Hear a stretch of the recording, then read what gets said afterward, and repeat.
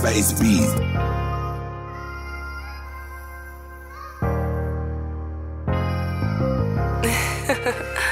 Anthony, wake the fuck up.